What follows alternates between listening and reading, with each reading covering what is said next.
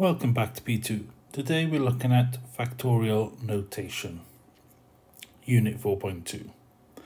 So, factorial notation is something where you may or may not have seen it. I don't think you've seen it before, but uh, it looks like this. n will be a number, and you get this exclamation mark afterwards.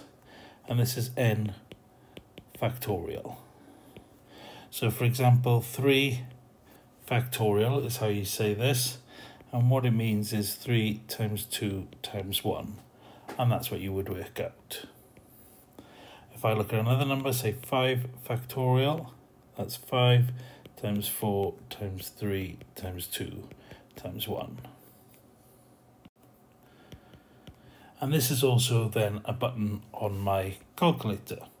So to find the factorial button, you're looking for X with your exclamation mark.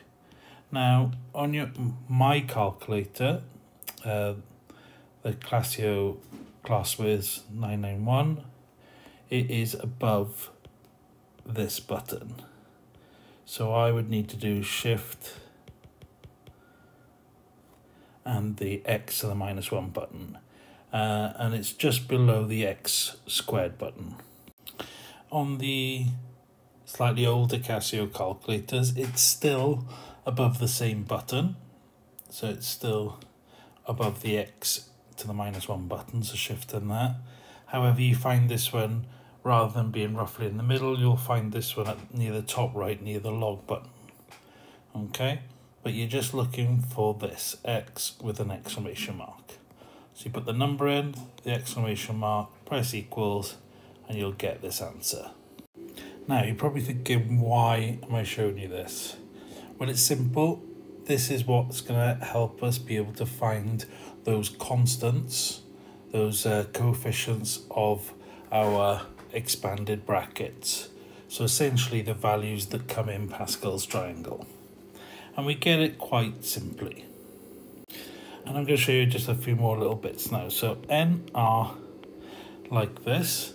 So n will be essentially when we've got our bracket raised to a power like this one 5, this is going to be our value of n. Okay, so if I've got it to the raised power 5, my n is going to be 5. If I've got it raised to the power 3, my n is going to be 3, and so on and then R will be the position where it is within that expansion. So if we're thinking about an example, you know, when R is 0, that would be my first term, R is 1 is my second term, R is 2 is my third term, and so on within that uh, sequence. But it becomes very straightforward, kind of the, the first and the last term we know is going to have the coefficient of 1, so we often then skip those when we're doing it and we do our kind of R is 1 all the way up to R minus 1 essentially as those n values are always going to be just the value 1. But I guess I'll come into a bit more detail on that when we start looking at it a little bit more in the next video. But for now, let's just talk about a few bits within this. So NR is quite important. You'll see that used a lot, that notation. And what this will also translate into is this notation here. So this we say as n choose r. And this is also going to be a button on your calculator that we will be using a lot in the next video. Okay, I'll just give you where that button is now, just so that you're aware, but it's uh, it's basically shift and the divide sign on pretty much well, all Casios anyway, uh, looks like NCR like that. Okay, so that's a really good button. That's a button you're going to use a lot in this. And as I said, we'll be going into a lot more detail on that next video of how we use it to expand um, kind of any bracket raised to a positive power. Now today what we're actually going to go through is how this button works, like what it's actually doing behind the scenes. And this is something that you kind of, you need to know, you wouldn't use it all the time, but you will be using it a bit within questions. So there are sometimes parts of a question where you would use this. The majority of the time though you will be using this button on the calculator for your expansions, but there will be a few cases where you'll need to know how to break this down into its factorial form. So that's why we're going through that today. So here we have it. Let's look at a few examples that build it up to use everything within here and we'll go from there. So first example, I've already kind of gone through this, but 4 factorial just means 4 times 3 times 2 times 1. And then you just need to work this out. You can use the button in your calculator or you can work it out by doing, you know, 4 times 3 is 12, multiplied by 2 is 24. Okay, obviously as the number gets bigger, it's much easier to use the button in your calculator. Now, this is 4 choose 2. Okay, now for me to do this, what I need to do is first set it out. So we get 4c2, and this is going to be 4 factorial on the top. Then I have r factorial, which is 2 factorial, and then n minus r is going to give me my next one, so that's also 2 factorial. What you'll notice is that these two values will always add up to this value here. Now, if I expand this, again, I can use my calculator to do this, but I'm going to expand it manually so that you can see what we're doing. And here I would just probably start off by cancelling. Uh, two twos is four, that's probably the easiest way. And then we've got 3 times 2 on the top, which is 6. And then the rest is ones which don't change my the value of my answer. If I see it in this form, it means it's 5 choose 3 is what I'm looking at. So it's 5 factorial on top, 3 factorial on bottom here, and then the other one is the value that will make it up to that top number. That's the easiest way to think about it. These two will always total that one.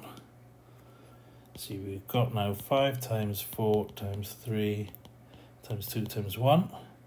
And then we've got 3 times 2 times 1 times 2 times 1. Okay, and I can cancel the 2's here and cancel this 3, cancel this 2 with 2 in the 4 there. And now you can see it just leaves me with 10 in total. Now, what I've got here is the way I would do it if I was doing it without a calculator. But there is an alternative, and I can just use that button in the calculator, um, which I did mention that we would look at more next time. But we'll just put it in here. So if you look at that button, that button on the calculator is shift and then the divide sign. Okay, so if I wanted to do, you know, this problem, I would just press 5, shift, the divide sign, 3, and then equals. And you should see your 5C3 pop up in the calculator.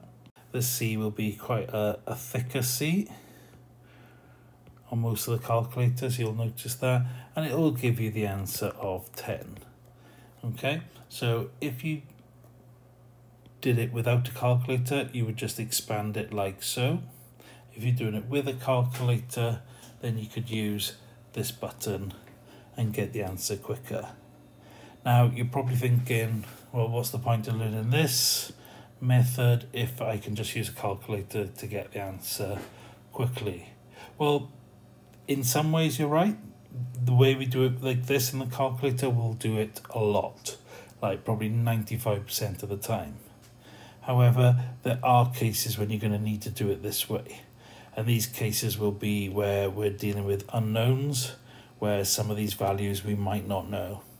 So those kind of, they usually come up as part of a question in an exam. So that is why you do need to know it. So it's, you should practice with both but 95% of the time you'll use just the calculator method. I'll pop up a few questions for you to have a go and I'll put the answers at the end as always.